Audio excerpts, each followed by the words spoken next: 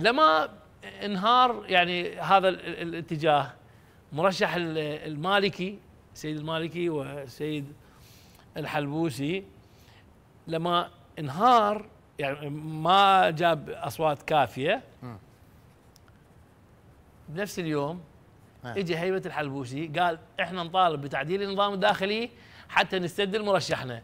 وبذلك أساءوا إلى السيد الدكتور محمود المشهداني آه. يعني في أول يعني ما تمسكوا به قالوا نقاتل نغير نسوي نحاول نكثر. لا نتركه وأيضا تركه هو اللي مرشح المالكي لذلك وجهوا ضربتين في آن واحد. آه. واحدة للمشهداني وواحده لل- للمالكي. طبعا